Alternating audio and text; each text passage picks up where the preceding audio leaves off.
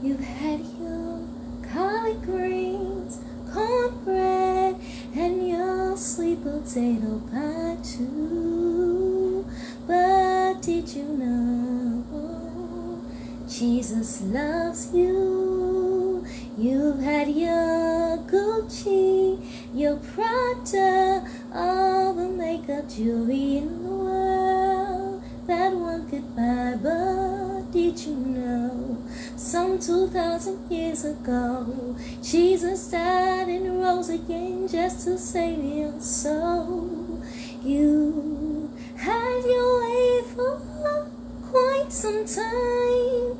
I just want you to consider trying Jesus. And I know you might say that you're Christian and that you even follow him.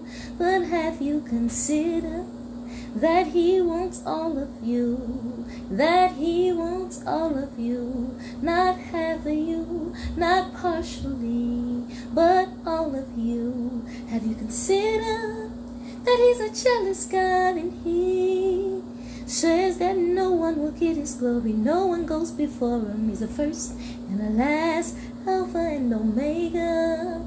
Give your life to Jesus, try Jesus, try Jesus. Oh, put the collard greens down, put the product down. I need to put my phone down. Try Jesus, try Jesus. Give him your life, give him your life, give him your life today. Holiness ahead always. And I know you'll say we're too judgmental. But have you read your Bible really? Have you read your Bible really? Cause everything we say comes straight from the Master's heart. And he loves us. He's a God of mercy and of perfect judgment too. Have you considered giving your all to Jesus?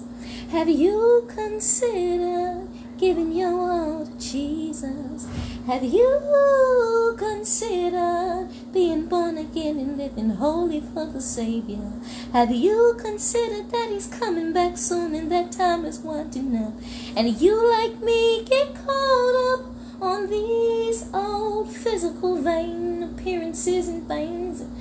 pleasing everybody else and we gotta stop and remember what we were put here for. Jesus saves jesus saves to the utmost every day. Jesus saves. Doesn't matter your habit your situation or what you're struggling with or what sin you need to be delivered from. Ooh, if you're already saved, we still need to hold on. We still gotta hold on to God's unchanging hand. David wrote Psalms 51 and he was already saved. When he committed adultery, he was already truly saved. Fire baptized and filled with the Holy Spirit. But he struggled in the flesh and he messed up, but he truly repented. That's the difference. And God forgave him because he had a heart for God's own heart. So if he wrote Psalms 51 and he was saved, how much more does everybody else need it who's not even truly saved, or truly born again, or truly humbled it all to Christ? We're all filthy and unworthy, but we still got to be born again and filled with the Holy Spirit and living holy. Ain't no getting around holiness ahead. Ain't no getting around. Ain't no getting around. You can't be messing around on God. He's a jealous God. You gotta, you gotta, you gotta be hot or cold. There's no lukewarm. And it ain't about makeup. It ain't about jewelry.